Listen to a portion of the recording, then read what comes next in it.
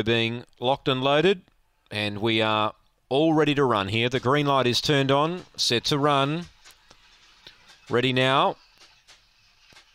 Away, Velocity Fairy stepped pretty well here. She's trying to muster up and find the lead. There's speed out wide. Two came down. Gypsy Boy and Sabon Domination hit the turf, or hit the uh, floor anyway. Down the back, Imperial Masters a half length in front, but Velocity Fairy's driving hard the rail. There's six lengths in front of Anna Indy. Then Birdie Bound. It's in front Velocity Fairy from Imperial Master wide out, and Velocity Fairy wins.